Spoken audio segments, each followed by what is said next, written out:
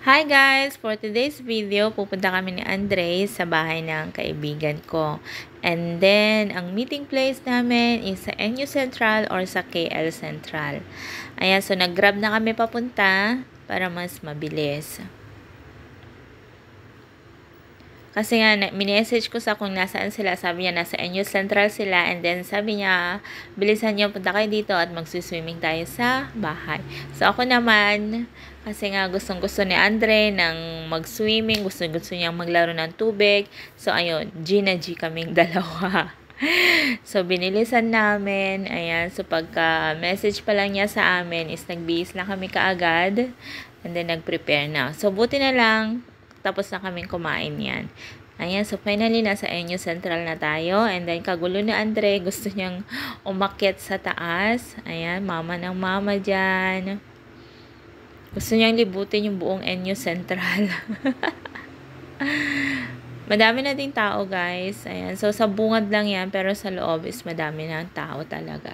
So, dito sa Malaysia is back to normal na. Ayan, pero need pa din natin mag-ingat.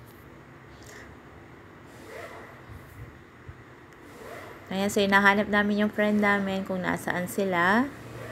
Ayun, si Andre gusto niya umakyat na sa taas. Hindi na siya makapaghintay. Ayan, ang, ang gandang mag-shopping basta may pang shopping, char. so, ayan, finally nakita na namin sila. Pababa na naman kami ulit. Kasi nga pupunta na kami sa bahay ng kaibigan ko.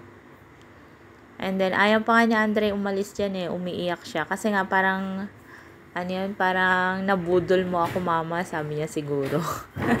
Akala ko ba maglilibot tayo, yun siguro. So, ayan, we're waiting the grab. So, hindi na kami nakapaglibot dyan. Kasi tapos na din sila. So, uwi na kami. Ayun nga, pagdating namin sa bahay ng kaibigan ko, ayun, gusto na kaagad ni Andre mag-swimming. So, ayun, nag-swimming na kami kaagad. Ayan, so gustong gusto niya talaga maglaro sa tubig. Nag-e-enjoy siya. Ayan, namamos yung boses ko guys kasi nga dalawang oras ata kaming naligo. Ah, matagal din kami sa pool. Matagal kaming nagbabad. So, ayan sa Andre, game na game. Ayan. gustong gusto niya maglaro ng tubig. Ayan. Oh. So, nag-enjoy talaga siya dyan. And then, gustong-gusto din niya makipaglaro sa mga aso. Ayan, o. Oh, lalaki ng mga aso nila. Pero hindi sila nangangagat, guys. And, mababait sila. Ayan.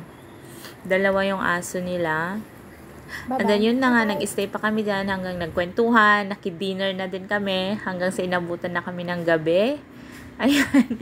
Madilim na. Saka lang namin naisipang umuwi. I think mga 8 8 o'clock PM na dyan. 8 past ganun. So, mga 8.30 na nung umuwi kami ni Andre. Hanggang nga nakatulong na nga si Andre sa sasakyan eh. Ayun. So, madilim na talaga.